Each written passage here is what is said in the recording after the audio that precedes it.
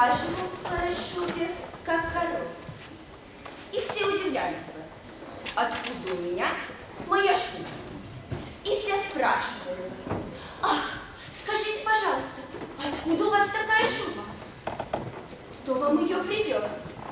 Кто вам ее подарил? Кто вам ее купил? У вас, наверное, богатые родственники. А я бы хотел, горностаевой шубе. Шубище. Ну, потому что я был бы сам горностаем. И отвечал бы всем.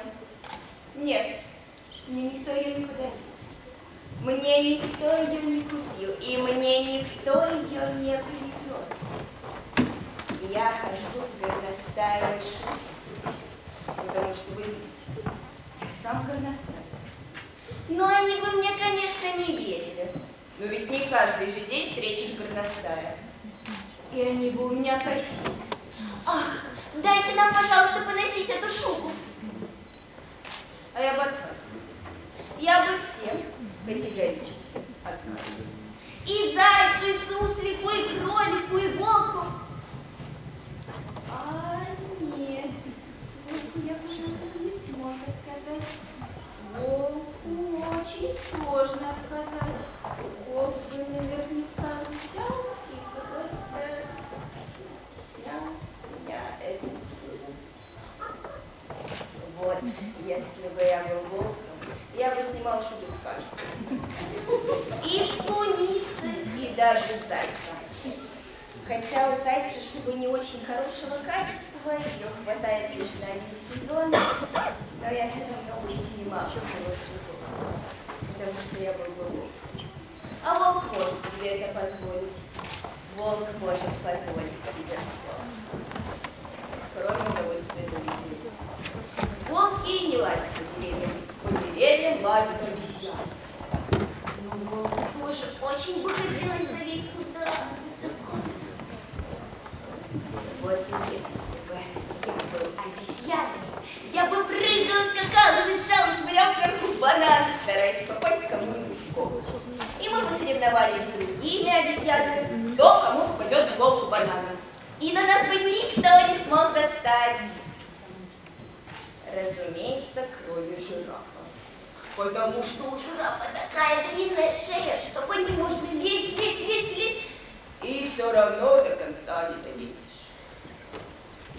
Вот если бы я был жираф, я бы не и никогда не склонял голову. Я бы смотрел на всех сверху и вниз. Я бы мог спокойно подойти к забору и заглянуть через него. А там обязательно должно что-то быть.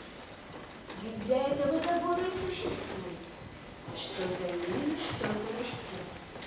И до меня бы никто не смог достать, потому что для этого нужно было бы прыгнуть очень высоко. Вот если бы я был леопардом, я бы запросто прыгнул на дерево и откусил этому жирафу голову. А потом бы спустился вниз и откусил голову волку, ну, чтобы не отбирал чужих шуб. А заодно и горностаю, чтобы не кичился своей новой шубой. Если бы я был леопардом, я бы не боялся никого. Разумеется, льва. Потому что когда ты видишь льва, хочется стать таким маленьким-маленьким и незаметным, и зарыться под землю, как крот. Если бы я был кротом, я бы там под землей, и меня бы совсем не интересовало, что происходит там, наверху. Я бы только иногда выглядывал, чтобы посмотреть, как там растет трава и как ее щиплют бараны. Бараны ходят по полю и щиплют траву и греют свои спинки на солнышке. И ни о чем не думают. Нет, неправильно. Они иногда так задумываются. Вот если бы я был бараном,